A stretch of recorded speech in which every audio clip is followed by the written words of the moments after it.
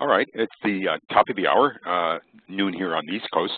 Uh, so I'd like to begin now, I, and I'd like to welcome everybody to today's webinar uh, from the Cybersecurity and Information Systems Information Analysis Center, or the CSIAC. Uh, and today's webinar is titled Cloud Computing in the Government Sector, Understanding the Cloud Architecture and Requirements. Uh, my name is Tom McGibbon from the CSIAC. Our presenter today is Mr. Gary Hamilton, who I will introduce in a few minutes. Uh, before we begin, a few comments. Um, all the phones of all the attendees have been muted except for the presenters today. Um, however, you know, questions can be asked at any time during the presentation by entering them either through the Q&A pane or the chat pane in your WebEx control panel. Um, I will be monitoring questions uh, and questions will be answered at the end of the presentation. Um, copies of the slides will be available afterwards. Um, if you would like a copy of the slides, um, my email address is on the is on the screen there, uh, and you can uh, send me a request. Also, uh, we are recording uh, this presentation, and so if some of your friends weren't able to attend this live, they'll be able to to watch it on the on the recording, and the video and the audio will be posted, and we will distribute a link to the to the video once once it is posted. Uh, now, to begin today's pres presentation, let me just give a quick uh, overview about the CSIAC, uh, or Cybersecurity and Information Systems IAC. Uh, again, please note my email address. Um, I'm Tom McGibbon for any follow-up. Uh, the CSIAC is operated by Quanterion Solutions Incorporated, that's who I work for, uh, and is funded through the Department of Defense's Defense Technical Information Center, or DTIC. So funding for today's free webinar is provided in part by DTIC. Uh, the Cybersecurity IAC is a specialized technical focal point and information clearinghouse for information assurance, cybersecurity, software engineering, modeling and simulation, and knowledge management for DTIC. Uh, please uh, make sure to check out our website and join our community of practice at, at the top, as you see on the top of the screen, it's https www.csiac.org. Uh, also, we have two uh, LinkedIn discussion groups. Welcome you to join that. Uh, one is called the CSIAC Software Intensive Systems uh, group, and the other one is the CSIAC Information Assurance group. Okay, now having said that, let me introduce our presenter today. Um, Mr. Gary Hamilton from Assured Information Security, or AIS, serves as a research scientist in the areas of cloud computing, virtualization technologies, cybersecurity, and anti-forensics. His research in cloud computing includes attacker deception and containment, fight-through, remote detection of malicious hypervisors, and protected computations on remote uncontrolled infrastructure. Mr. Hamilton holds a master's degree in computer science and a bachelor's degree in computer science and technical communications, both from Clarkson University. So now I'll turn this presentation over to Gary. Welcome, Gary. It's good to be here. Hope everybody's doing well today. And we're going to get moving here pretty quickly, and we're going to kick right off and try to move as quickly as possibly can. We have a lot to cover, so we're going to be looking here at four basic topics. Um, just fundamentals of cloud computing, background, some light background information, how the infrastructure uh, works, and um, how the different parties um, uh, relate to one another in that in that infrastructure. Um, we're going to also discuss uh, the FedRAMP authorization process, and we're going to give an introduction to FedRAMP Plus, which are agency-specific uh, standards that are in addition to those specified by FedRAMP. And uh, we will uh, then provide a conclusion and identify a few of the challenges. So to begin with, uh, fundamentals of cloud computing. So what we're going to cover is um, definition of cloud computing, um, essential characteristics, the service models, deployment models, business models, and a very brief overview of some of the major providers. So this is the NIST definition of cloud computing, and it's rather uh, it's rather wordy, but a few of the key uh, components are on-demand network access to shared computing resources. They can be rapidly provisioned and released with minimal management. So a more a more uh, conversational uh, definition is cloud computing is really nothing more than providing access to users to remote servers that host their applications and services, store data, and process that data. So there are two essential components in cloud computing. There's the provider and the consumer. The provider is the organization that offers the cloud environments, so that might be Amazon uh, Web Services. And uh, they maintain the hardware, they maintain the software, and in many cases they also retain the data and on local storage, uh, on their storage. Um, the cloud consumer is the user of those cloud environments. So how does cloud computing differ from traditional models? Well, there are five essential characteristics. Um, On-demand self-service, so the consumers themselves are responsible for provisioning resources. So you may be provided with a cloud instance, perhaps with an operating system installed, but you are responsible for deploying the applications within that environment, um, as well as for um, managing the storage and some of the processing, uh, handling the actual storage and processing. Um, there's also broad network access, so that's you know remote access to a cloud instance. Resource pooling, so that's the ability to have um, you know a single set, a, a, a, set of hardware and storage and processing that are used by multiple uh, multiple uh, consumers. And rapid elasticity, so that's adjusting those resources to meet changes changes in demand. So um, a good example is um, a web server and adjusting to an increased load on that. Um, and finally, measured service, which is the metering of that resource usage. And that's most notably used in, uh, in their billing. So next, we'll cover service models. So there are primarily three with a fourth emerging service model that uh, you will find in cloud computing. Um, so the big three are software as a service, platform as a service, and infrastructure as a service. Um, software as a service is a model in which the provider offers everything up through and including the application. So you are you are purchasing access to an application. So an example might be um, Microsoft Office hosted in the cloud. It might be, um, say, WebEx hosted in the cloud environment. And with platform as a service, what you have is the customer, uh, the customer themselves is deploying their applications. The provider themselves hosts the, host the cloud instance up through the operating system. So if you look at this image down here, you'll see um, you have the hypervisor and hardware and underlying, uh, underlying um, infrastructure of that cloud environment. You have your virtual machines, operating systems, and applications. Software as a service provides everything up through that stack. Platform as a service provides everything, everything up through the operating system, and infrastructure as a service provides everything up through the virtual machines. In infrastructure as a service, the consumer themselves can deploy their own operating system, and um, that's a model that's particularly useful if you're doing a lot of low-level driver development and that sort of uh, that type of work. And finally, you have emerging uh, network as a service, which uh, provides a virtual network. So in the deployment models, so the, the deployment models uh, address where that cloud actually physically resides and what, what level of control the consumer has over it. So in the private cloud, so in that private cloud, it's a resource that's owned by the organization. It may sit on their premises, it may be off their premises, but it's within their control. Um, they own, they manage, and they operate that cloud environment for use within that organization.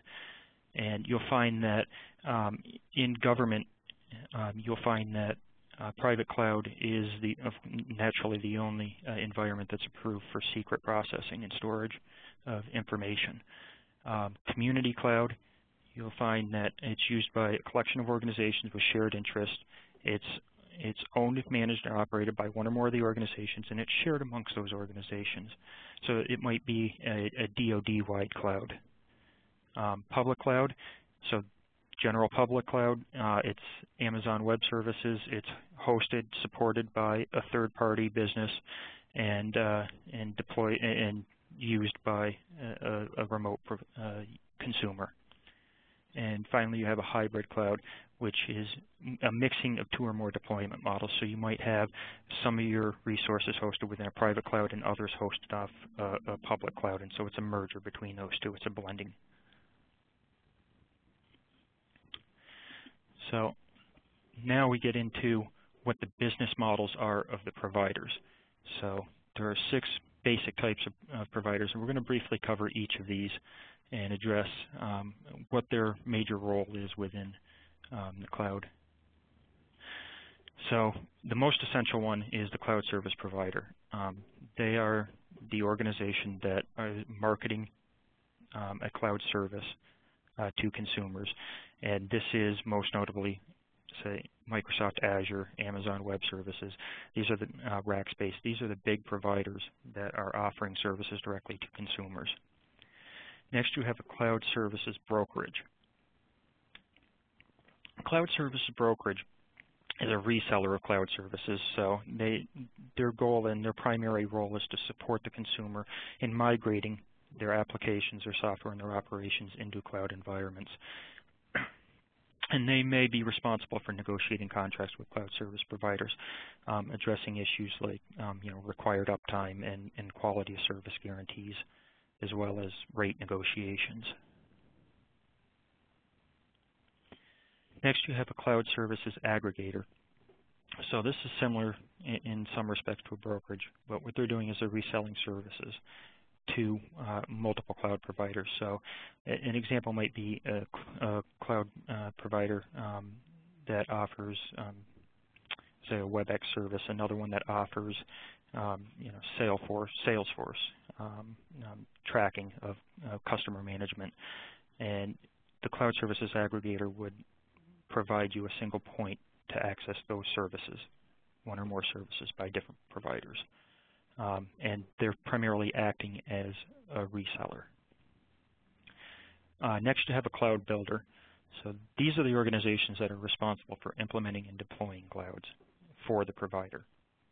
So they may be uh, an organization within the provider, or they may be completely separate and they're responsible for standing up the hardware and load balancers and the different equipment, uh, the hypervisor, and any virtualization models used, um, and as well as the, the metering of service. Next, you have a value-added uh, reseller. Now, this, these are where these last few get a little bit more obscure. So um, these are the types of organizations that offer on-premises IT projects, but with also uh, offering cloud services as well um, in support of those. Um, and uh, they may provide the services directly to a provider, but they may also go through the aggregator, through an aggregator. Next, we have a managed service provider. So they offer on-premises cloud-based network management and um, they may offer those services directly to a provider or through a cloud service aggregator. Uh, let's see where we are now. So this is a brief overview of some of the major providers. Um, there is a more uh, detailed description of providers that covers several hundred providers and in some level of detail as to what model they satisfy and the different types of services they offer and whether or not um, their software and their infrastructure is open source or proprietary and what their licensing is and how their billing works. But this will give you a brief overview and a forthcoming uh, publication will cover these things in more detail. So um, Several of the results came from the Talking Cloud 2013 survey of software as a service, platform as a service, and infrastructure as a service providers, along with uh, several other sources of supporting information.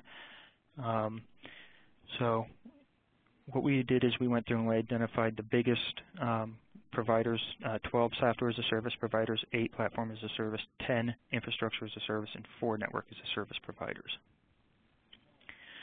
So software as a service providers, um, these are your go-to meetings, um, Microsoft Office 365. That's Office in the cloud. So it provides all your email service, calendars, conferencing, all of those services in the cloud. Google Apps, Salesforce, um, McAfee, Cloud Builder Security, uh, Dropbox, all of these different types of, of application level services hosted in the cloud. So next we have Amazon Web Services and, and Platform as a Service we have, it, it's clearly led by Amazon Web Services with Microsoft Windows Azure and, and several others following up. Um, the notable thing uh, here is um, they're providing everything up through the operating system and providing an environment for you to host uh, applications. Um, so interestingly, the Red Hat OpenShift Foundry is actually geared directly towards de uh, application development support. And so they actually have different flavors and a different provider will best, you, will need to match what your requirements are to the different providers to find one that best meets your needs. Next we have infrastructure as a service. You'll see Amazon Web Services comes up again. Well, that's because in that model, they, it can provide you either as infrastructure as a service or platform as a service. The only difference is whether or not you have an operating system installed on that on on that uh, cloud instance. Um, again, you also have Windows Azure, uh, Rackspace, and some of the other big big players in this area.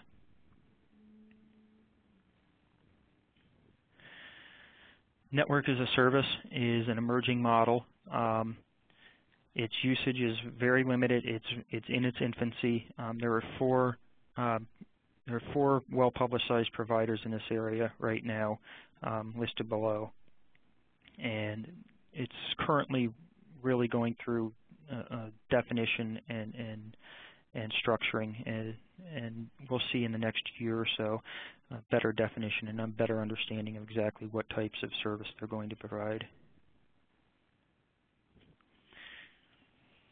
So now we're going to get a little bit into the FedRAMP authorization process. So um, to give you a quick overview, FedRAMP is the process that cloud providers are required to go through in order to provide services to any organization in the federal government. And they give you a set of guidelines and security settings that primarily focus on cloud instances, but also handle how that provider responds to incidents and what their policy and guidance is and who they inform in the event of an incident and what type of information they provide to the government and to the consumer when an incident occurs. Um, so first thing we're going to do is we're going to go through and we're going to define uh, the, uh, the FedRAMP and we'll give a brief overview of the authorization process. Um, it will be a very brief overview. The forthcoming publication actually covers it in great detail. And we then give a summary of what the FedRAMP baseline controls are. So these are the controls um, that define security settings for the cloud instances. And we also discuss ongoing assessment and authorization requirements. So these are requirements that providers have to periodically go through to maintain their accreditation. And finally, we identify the uh, major FedRAMP authorized providers. So the Federal Risk and Authorization Management Program, FedRAMP, is responsible for standardizing all of the requirements that cloud providers are required to meet in order to provide services uh, to the federal government. Um, it's it's the combined effort of multiple organizations. It's GSA, it's NIST. Uh, many of the NIST requirements are actually drawn on for this, um, as well as uh, DHS, DoD, NSA, OMB, and the CIO Council. So it's the governing board of FedRAMP is the Joint Accreditation Board, and you'll see this a lot um, in the actual uh, requirements, where a lot of times you'll have open-ended requirements, and in the requirement be, will be as simple as, you know, if, uh, if, let me see if I can find a good example here. So for information uh, backup, so how you perform backups, there's a series of guidelines that you're required to meet, but there, there are different processes and different ways of implementing this process, and it's very open-ended. And so the process for doing this may vary from provider to provider. And so what they do is they allow the provider to go through and provide a plan to the Joint uh, Accreditation Board, and if it's approved, then they are allowed to then then that is if if that's accepted, then they can receive accreditation based on that plan. Um, the Joint Accreditation Board may bounce it back and require certain changes to meet uh, standards. So it's very open-ended in some cases. So there are two basic sets of FedRAMP requirements. There's a baseline control set and there's ongoing assessment and authorization requirements. So uh, baseline controls are just basic security system uh, settings for these systems. Um, it's drawn from NIST 853 control sets and it's divided in two sets, low and medium. So the medium requirements are for uh, levels of information that require greater protection, and um, low are naturally um, just general information um, that requires less uh, stringent security. And the uh, consumer themselves have a role in defining what their requirements are, whether they require a low or medium um, um, uh, security. So the information system, so a good example of this is the information system will enforce a limit of not more than three consecutive invalid login attempts by a user during 15 minutes. So the two sections in italics are fields within NIST 800-53 requirements that are specified by FedRAMP, not more than three and 15-minute period. Um, another example is the actual password requirements that you'll see.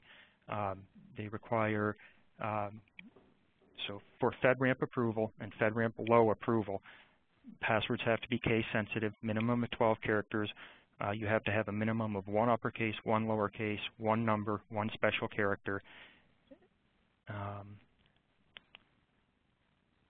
so the password restraints, one day minimum, 60 day maximum, you have to renew passwords minimum of every or at a maximum every 60 days, and it doesn't allow password reuse for 24 generations.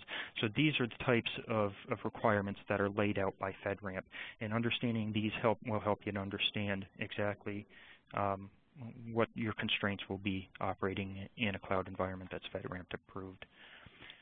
So ongoing assessment and authorization. So these are requirements that specify operational visibility. So this is the type of information that's passed both to FedRAMP and to the cloud, uh, cloud consumer and how change control is handled. So when you change your infrastructure, when that cloud provider makes changes to their infrastructure, they have to notify FedRAMP and the cloud consumer as well. And incident response is another example. It governs how that provider responds both to not only to FedRAMP, the FedRAMP organization, and the cloud provider, but they're also required to uh, um, notify U.S. CERT in the event of an incident, and also provide any information that's needed to remediate that and to handle those uh, and to handle uh, remediation from from that incident. So these requirements are also based on NIST specifications, the SP 800-137 uh, requirements. So understanding the, the baseline controls, so there are 17 categories of control, and this table here lists what those controls are. So it controls access, awareness, and training, so that specifies how often um, you know, the, the cloud provider will provide um, security awareness and, and, training to their, uh, to their uh, staff. It has audit accountability, assessment authorization, uh, media protection. So how do you handle um, media within that environment? So if you take a uh, if you take a system offline, how do you cycle it out? How do you manage it? Um, so within these, there are 116 FedRAMP low requirements within these 17 categories. And this, this column here, the FedRAMP low requirements column, um, tells you exactly what the breakdown is for each area for those low requirements. And the FedRAMP moderate requirements, I should read moderate, not medium, there's 296 of them, and this gives you the overlay. So the total number, and then in parentheses, the number that go beyond um, the FedRAMP low requirements. And the reason why we have this number is because in some cases what you will have is a change in FedRAMP medium to a FedRAMP low requirement. So they may have the same requirement, but it's more stringent for the FedRAMP medium case.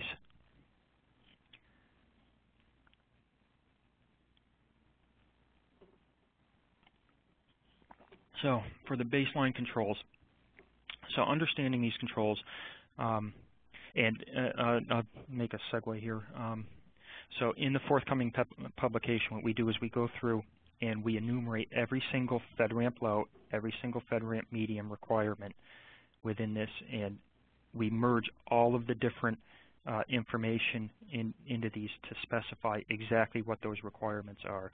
So what you'll find is when you're dealing with documentation from it, what they'll do is, is FedRAMP will release a document that refers to a NIST 800, um, a NIST 800 uh, baseline control document, and it's very difficult to understand and to merge those and understand exactly what changes and what the requirements are. So what we do is we went through and we did that um, for you to to help make it a lot easier to read and understand exactly what the requirements are. And this will be also the case for the FedRAMP Plus requirements. We went through and we did this for the um, DISA draft requirements. Um, so many of these controls are actually quite broadly defined. So um, one example is access enforcement. The information system enforces approved authorizations for logical access to the system in accordance with applicable policy. So this is what we were discussing earlier where you have some very open-ended definitions. And what that cloud, cloud provider has to do is they have to negotiate with a JAB to determine what, how they're going to implement that. And the guidance is very vague, um, and it's, it comes down to having documentation from FedRAMP that um, lays out exactly how that provider is going to address any given access enforcement or any of these other vague, vaguely defined controls. So FedRAMP moderate controls are a superset of FedRAMP low controls. So every single requirement in FedRAMP low is in FedRAMP moderate. Some of them are more strict though. So um,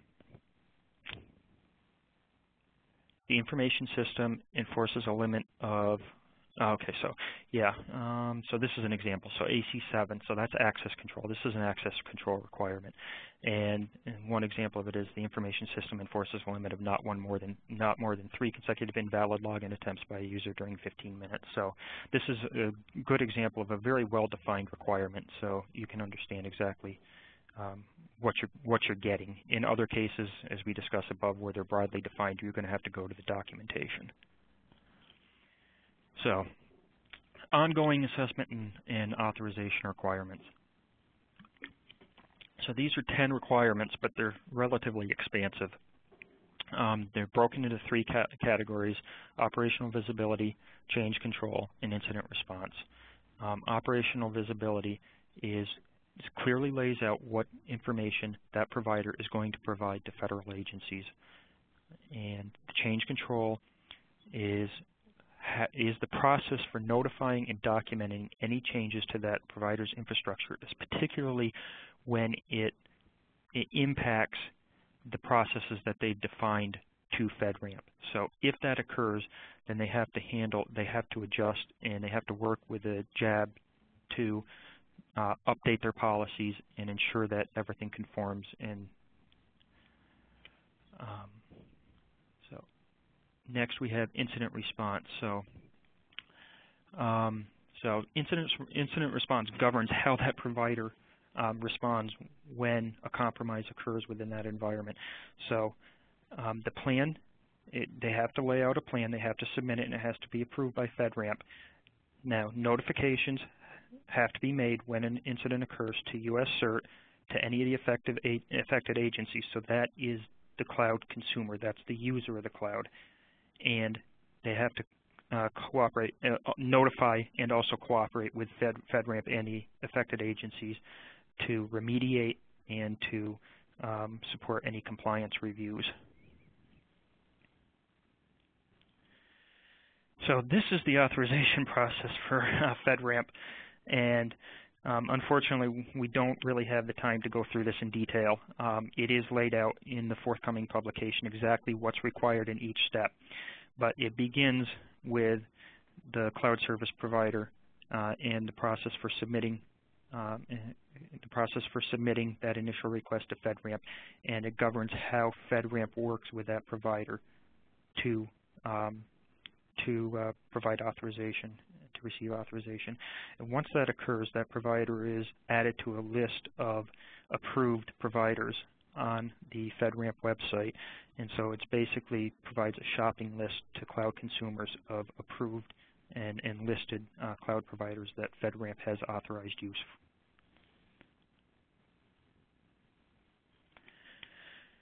So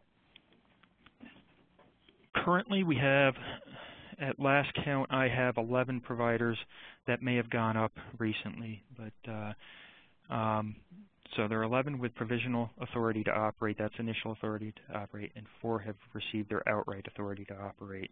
Um, the four that have received ATO, their full ATO, um, include Amazon Web Services, um, the East-West Public Cloud, and the Government Community Cloud. And interestingly enough, USDA has, of course, uh, put up their own uh, cloud environment. Uh, they're hosting their own cloud environment for use within the government, which is definitely interesting.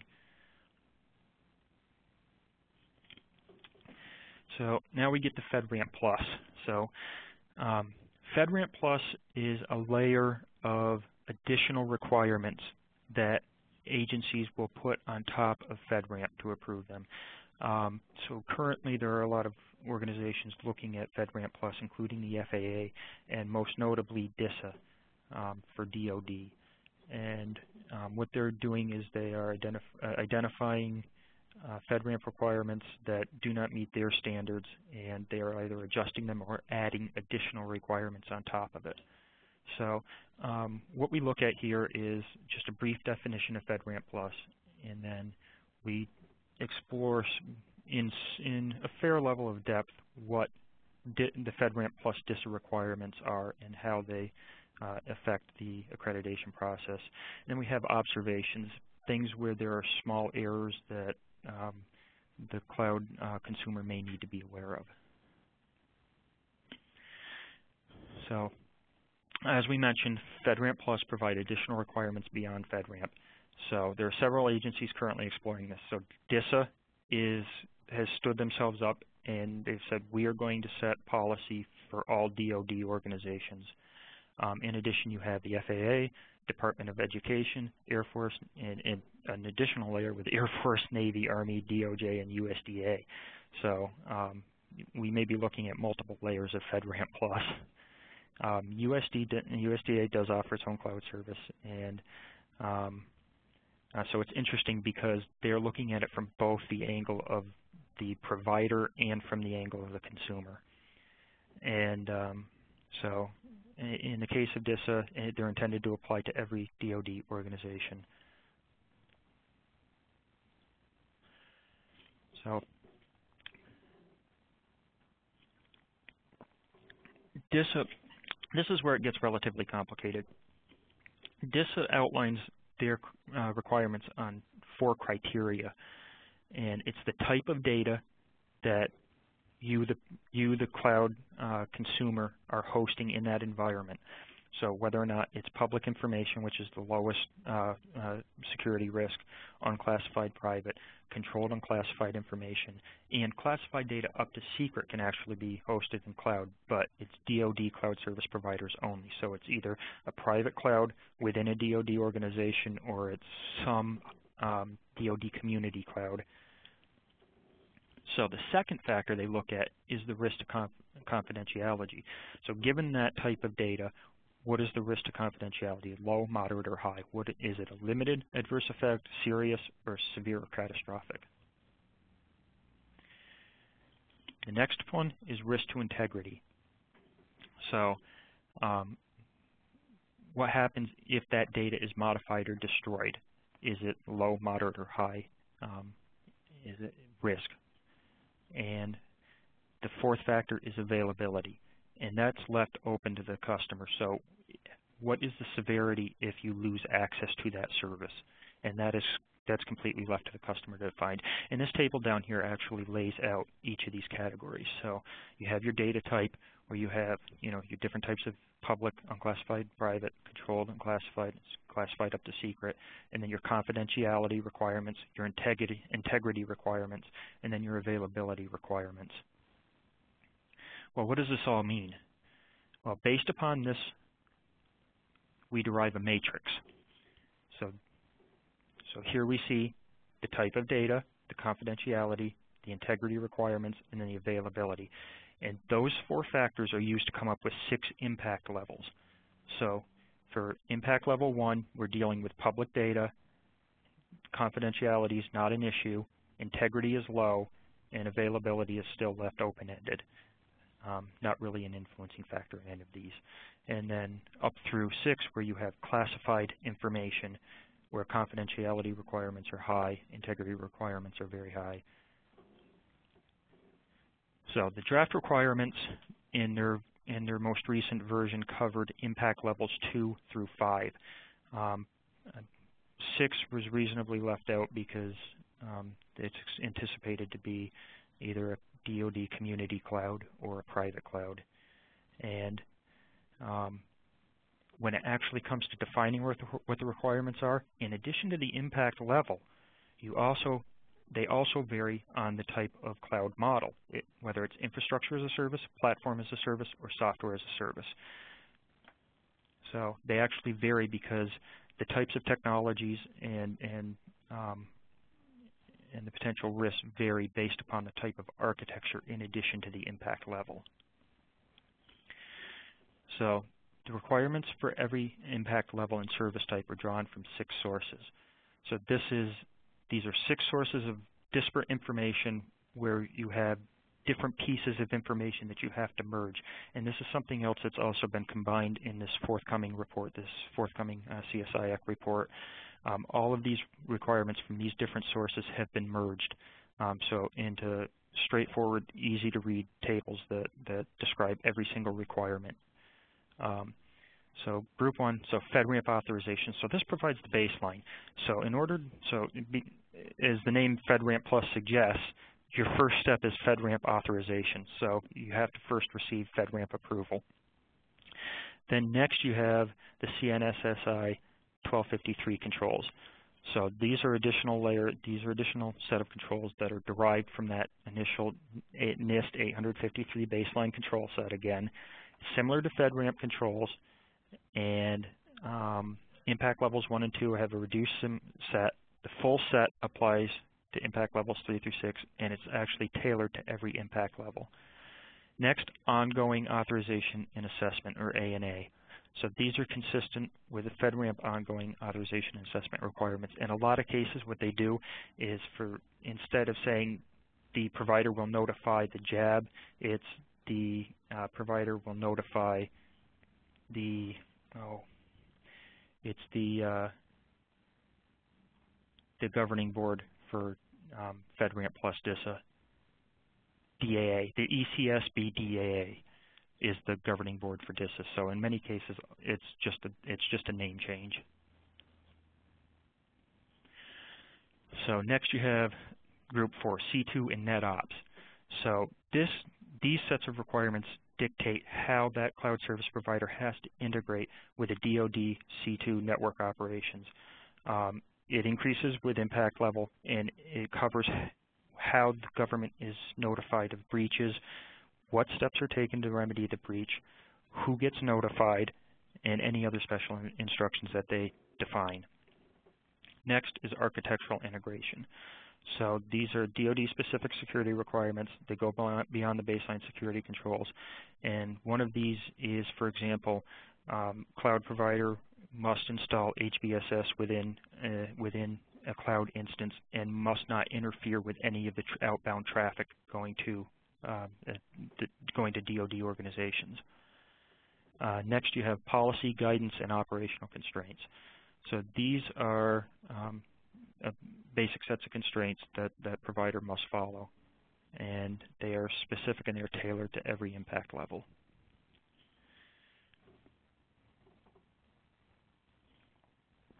So here we have a quick review of, so this table gives you an outline of the controls, the number of controls and requirements for every single um, impact level and for each model. So here it is broken down by model, and within the model, so within infrastructure as a service, we have impact levels 1 through 6.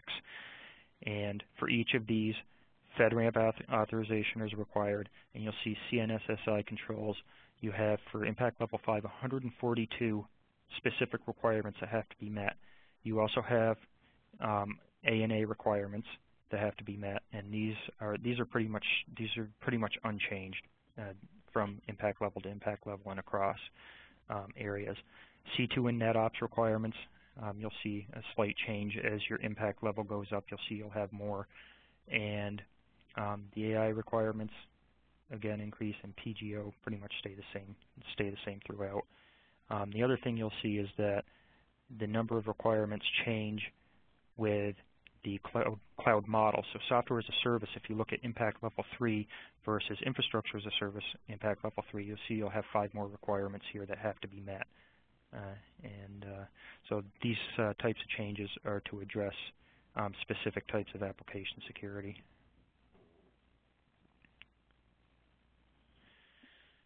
So FedRAMP Plus requirements are currently still in draft form, and there are a variety of errors in them. So what we've done is we've gone through and we've pulled out some of these um, some of these current problems. So um, one of the problems we have is that a lot of these CNSSI 1251 controls that they've released, they actually have parameters in them that have been left undefined. Um, so it's uh, very difficult to comply when when uh, there's actually nothing defined. Um, in some cases, we found requirements where you have a higher impact level, and yet the requirement, the CNSSI requirement or some other requirement is actually lower than for a lower impact level. So it's clearly an issue that somebody may have cut and paste uh, from one requirement to another and they forgot to update or they didn't update some information correctly. Um, so, and another problem is is some of the CNSSI 1251 requirements are actually less stringent than the FedRAMP requirements, and this is a problem because FedRAMP authorization is is a requirement. So what you have to do is you have to go with the more stringent requirement, because if you if you're FedRAMP approved and then you lower your requirements to comply to the letter with the FedRAMP plus DISA requirements, you'll actually violate your FedRAMP authorization. So uh, one example of this is uh, for access control item 10, requirement 10, FedRAMP actually limits uh, concurrent sessions for each system account to one session, but DISA goes back and changes that, and they say three are allowable for privileged access and two for non-privileged access. So in this case, you have to comply with FedRAMP. You would have to comply with, the, or the cloud provider would have to comply with the FedRAMP requirement. Um, so again, yes, there are numerous kind of cut and paste errors. And um, another example is um, for impact level four, infrastructure as a service, platform as a service, and software as a service, reporting over DIBNetU is not allowed, but um, for incident response and impact level five, um, it's accepted at impact level five here. So what they do is they require, I believe, uh, DIBNet S um, secret for reporting at impact level 4 and 5, and yet what they do is in, another section, they allow for impact level 5 reporting on DIBNet U, um, which it doesn't make sense. So it's it's just another error, I think, a, an error in trans transcription. So again, it's it's a case of they're still in draft form and they're still being worked through. Um, so so again, yeah, FedRAMP is a prerequisite for DISA approval. It can be assumed that FedRAMP requirements are less strict, that are less strict are void. Um, you have to address, the cloud provider would have to address the most stringent requirements. Um, yes, so uh, yeah, the other thing is is that because FedRAMP Plus is still really in in um, its kind of initial stages and it's being defined and, and built on um, these changes are in, in, draft form and they're going to change. So um, just something to be aware of. So and one of the problems that we found in, uh, in, in reviewing these requirements is that most of these controls actually focus on the security within the cloud instances, not the underlying infrastructure. So that means, you know, you, it's very good at setting what the security requirements are for changing your password or for the number of connections to a cloud instance and for how long uh, it can be inactive before being locked.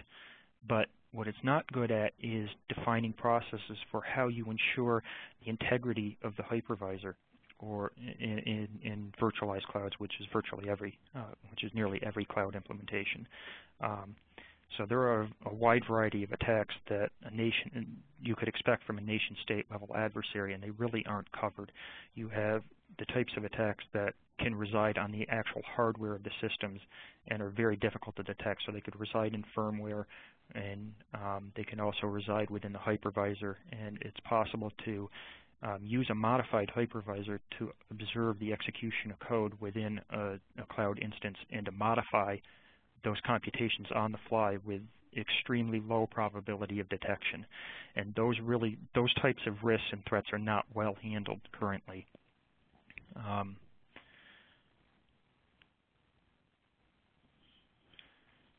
so, and yes, okay, yes, back to the CSIAC report.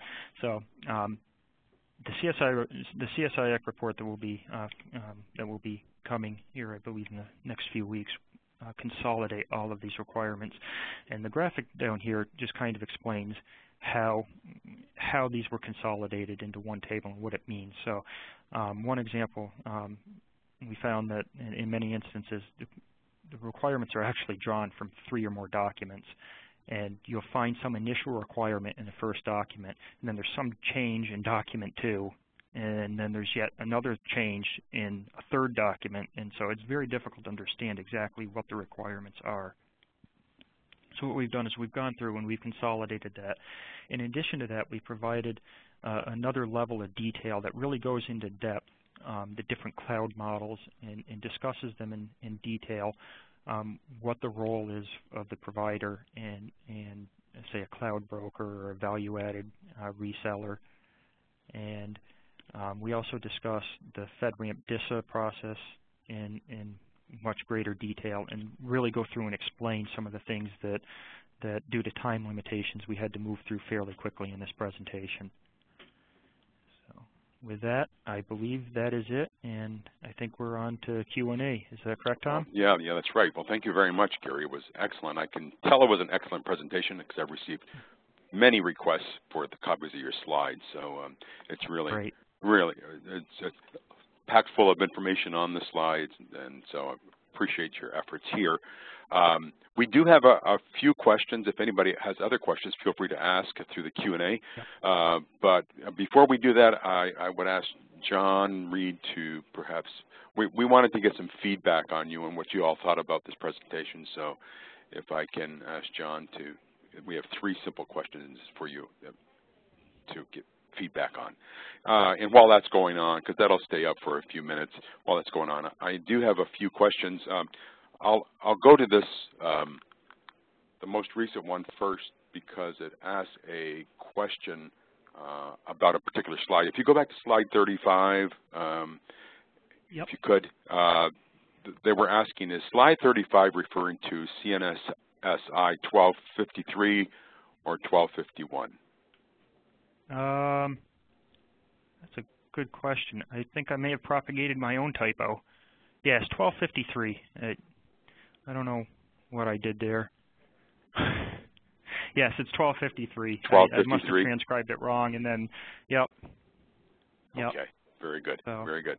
All right, um, thank you. Now, so we have two other questions right now. Um, let's see. How can agencies obtain security artifacts from cloud providers for auditing purposes? That has to be a challenge, isn't it, I would think. Excellent question. That's a great question. So part of the FedRAMP authorization process and also the DISA, uh, the FedRAMP plus DISA um, that we've seen is laying out the guidelines for the types of information that the cloud provider has to provide. So in addition to that, it's also possible through uh, through negotiations with the individual provider to lay out the types of information that have to be provided. Um, so in the case of a compromise, uh, the cloud provider themselves is required to not only notify the affected agency, the, the, the cloud uh, consumer, but they're also required to notify US CERT as well as FedRAMP themselves. And from there, it kicks off a kind of a review process where there's collection of information, and that cloud provider is expected to work with all of those organizations to help understand, identify what the source of the flaw was, to help provide access to, to artifacts and information from those compromised environments and to help remediate it. Now, for non-compromise-based uh, um, uh, incidents, it's more it's more or less going to be dependent upon the either the cloud consumer themselves in, in some instances can get information and artifacts out of the cloud out of cloud environments themselves. So, um, you know, the easiest example is, is if you're running a forensics tool like EnCase, you can run those in a cloud instance, and you can gain at least some information from those systems. But the provider themselves, it's possible also through either negotiations up front when you're discussing the terms uh, in, in, in, the service um, to identify what expectations are on them to, to provide information. Okay, okay. Um, let's see, this the next one was, uh, do these requirements apply to DoD or in DISA, or more specifically, if I deploy on MilCloud, am I am I assured that the FedRAMP moderate control set have been taken care of? Uh, I'll have to look it up on MilCloud itself. Um, I will look that up and I'll get an answer. Okay, and we will send it. We'll send it to, to the uh, Yep, exactly. We'll look that up. But um, in any other case outside of that, um, if you are deploying your own cloud environment, um, ultimately the onus will be on you to meet those um, to meet those requirements. Um, um, so uh, expect mm -hmm. to have to implement them yourselves. okay. Okay. Good. Good. All right. Uh, the final question I have is: Are entities that are undergoing FedRAMP certification still on FedRAMP, or are they undergoing FedRAMP 2.0 or FedRAMP Plus? So the way FedRAMP Plus works is it's it's it's view it as something completely separate from uh, FedRAMP authorization. So it's it's its own layer entirely on top of FedRAMP authorization. So FedRAMP is nothing more than the prerequisite. It's it's the federal government saying that if you meet these, you're qualified to uh, provide services to the federal government. And then it's an organization within that, say DISA, saying that, well, wait a minute, you can provide it to any of these other organizations, but if you're DOD, you're going to meet our requirements on top of these. Okay, okay. Um, we did get one other question. Um, let's see, hold on a minute here. Is FedRAMP Plus the same, same as FedRAMP 2.0? Um, I do not believe so. Um, they they are separate. Uh, they're separate animals. Okay. Okay. Um, I I have uh, a, my own question that goes back earlier in the presentation. Uh, the notion of a private cloud. Um, I, I, can mm -hmm. see where, for if you have a classified environment, you, that's what you need. But what is the yep. benefit of a private cloud? Is it that you're, you're buying a, a package set of services for your organization um, as opposed to just setting up your own infrastructure? Well, it certainly can be. So, in, in a lot of cases, you can, um, you know, purchase the infrastructure, uh, the, the software, and all of that from a cloud provider, and stand up your own private cloud and have all of that dealt with. Right. Um, I liken it to going back to the old mainframe systems. Right where you know the the advantage, but the real advantage of having a private cloud is that you retain physical control over your data right. and information. You're not right. entrusting it to a third party. Once you entrust it to a third party, you have a whole other layer of potential, you know, insiders and different risks that come into it, and they have their own um, they have their own interests in in reporting in in in how it makes them look. Um, um, we had sure. I had discussions a few months ago with a major cloud provider who was insistent that they were perfectly secure and that, that there was no need for any additional layer of security. And less than less than a month later, it came out that there were major portions of a botnet running on their infrastructure. Oh boy. Uh, yeah, yeah, yeah. So you're actually getting a, a set of uh, capabilities when you when when you buy their private cloud infrastructure. So um, right, probably exactly. helps transparency. I mean, and, and if you ever wanted to move out, then it'd probably be uh, easier to uh, transition to a, you know, uh, a more public cloud uh, as well. Right, so. exactly. And it's possible to have, uh, of course, within your own organization, a mix of clouds. So you may have some right. services that you that you delegate to a private cloud, and if it's something that's less critical, you may push that out to a to a public cloud. To a public cloud, right? I mean, yeah, yeah. Okay. All right. Well, I, I guess that's that's all the questions. So um, I, I, would thank you very much, Gary, again for, for an excellent presentation. Um, if you. anybody has any qu further questions, feel free to email me, uh, and I'll pass them on to Gary for you all. So um, uh, if that's it, I guess we'll say goodbye, and, and thanks again, Gary. All right, thank you. Okay. Bye, everybody. All right, bye-bye.